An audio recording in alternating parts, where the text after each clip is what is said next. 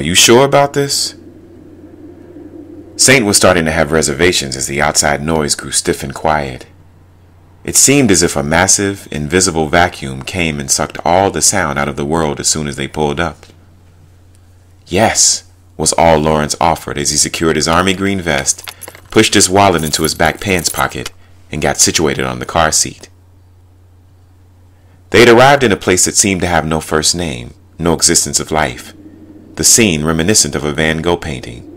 Surreal, creepy. Saint felt his reserve of patience diminish by the second.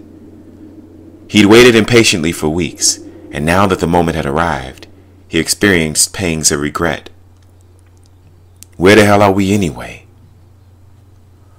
Lawrence got out of his snow white Jaguar XK120. The ride over had been a blast. Saint laughed and joked, believing it would be a simple procedure, such as going to the doctor's office to get a checkup and then leaving with a red lollipop. He even dared to play with Lawrence's radio settings on the way over. A no-no, but the man let him do it. That was Saint's first indication that his friend knew something fantastically bizarre and shocking was about to go down. All of that jovial banter and mood dissipated. Jagger got out from the back seat and looked at the small, dilapidated brick building with a worn, barely legible sign that read, The Best Bread in Town. This is where he wanted to meet? Looks like something out of a horror movie. Damn. Jagger slid two loaded M1911s out of their holster clicked them, and secured them back to his hips. Lawrence and Saint looked back at him, the cracking noise alerting their attention. Don't look at me like that. You can never be too careful. You'd be happy I had these puppies if you found out this was some sort of setup. I'm always strapped. Remember that. All three men approached the building, jagged concrete pebbles crunching under their feet. The sky turned into a murky gold with streaks of vibrant orange, and the silhouettes of pitiful trees, clutching on to a leaf or two, dotted the grass-barren area. Soon the sun would be gone, and everything would be pitch black, for he could see no streetlights. There was no sign of civilization, minus a small black Fiat parked nearby. Ahead, two doors from the building slowly swung open with a creak, showing nothing but darkness beyond. It was a type of blackness you have to see to believe. A midnight sort of darkness on a starless night. A darkness full of mystery and causing instant trepidation.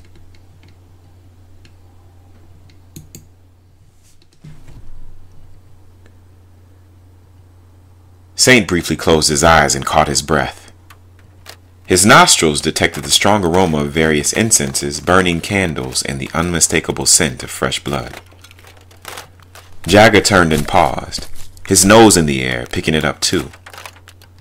The men drew closer until, out of the shadows, a ruddy-faced man appeared, his cheeks the color of Georgia dirt. The scent of wet earth seeped from the stranger's pores.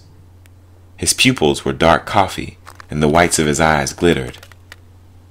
Dressed in a crisp white shirt and pants paired with sandals, the healer leaned against a clear glass staff that he obviously didn't need.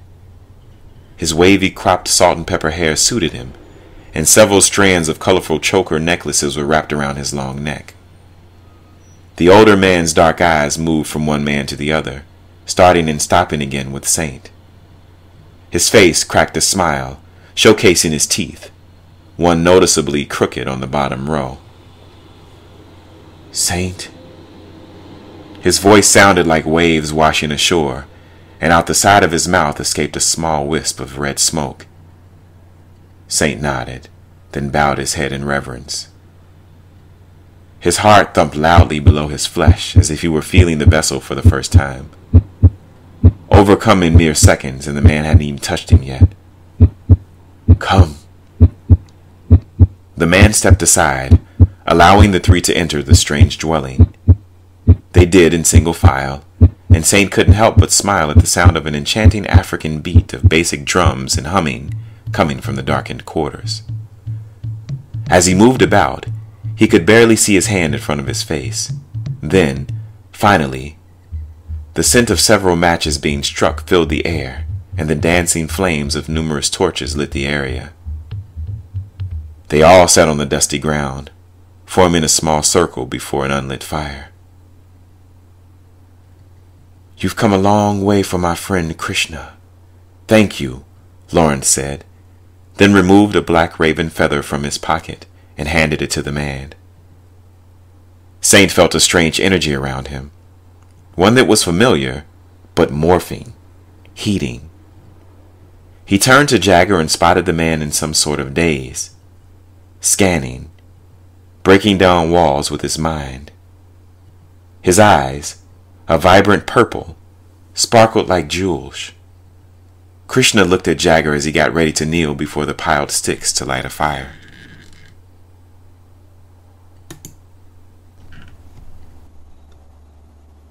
Your friend here, Jagger. The healer laughed and nodded. Very funny.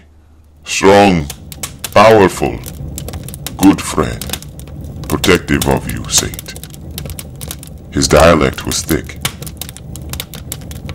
He is doing something to look into my mind. Doesn't trust me. That is good. He laughed lightly as sparks flew up into the air, swirling, twisting and biting one another like angry venomous snakes amongst the ricochet of fireworks for the 4th of July. You must trust me, however, Saint. Give it to me now. Give you what? Saint looked at Lawrence, perplexed. Lawrence pointed back to Krishna. You don't know the process. My apologies.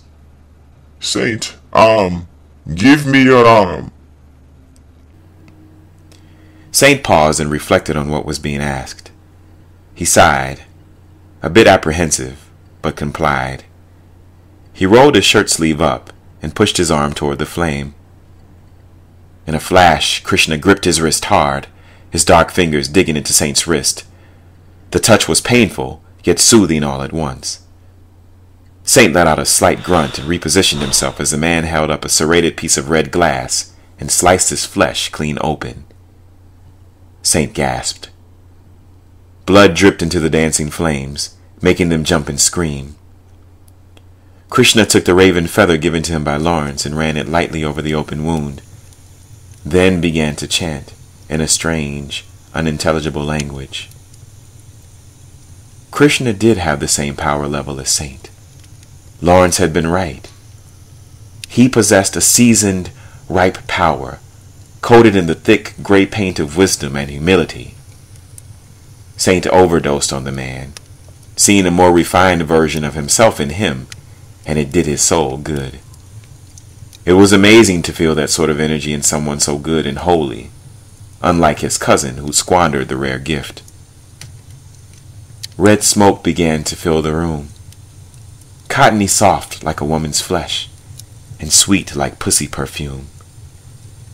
Saint smiled as he drifted in fantasy, becoming high off of something, of what he wasn't sure. Willowy hands and feminine laughter echoed in his ear. All the shit that gave him comfort surrounded him now, and he drowned in the moment, loving it all.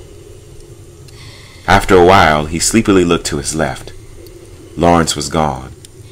He looked to his right. Jagger was gone too. He looked ahead, and there Krishna kneeled, now with a snow-white hood over his head, his body contorting as he chanted, and the flames continued to crackle and dance, screaming in bloody rage, agony and release. Saint's eyes hooded.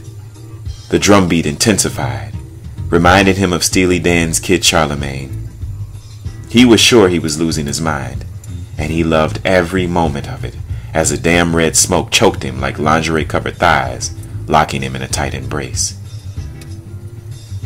Shit. He slurred as he fell back against the cold wall. Xenia, baby. He murmured, convinced she was sitting on his chest, her pussy close to his lips, and he longed for a taste. Krishna held Saint's arm out, allowed the blood to keep on dripping. Saint, this is your time. It is time to release, to purge. This is your blessing, protection. This will carry you through your life. Not just tonight and a month later. This is forever. Suddenly the man's voice seemed crystal clear. No dialect at all. Saint strained to keep his eyes open, to focus. Krishna wasn't moving his mouth. He was speaking to him telepathically, in a way he could understand. No more confusion.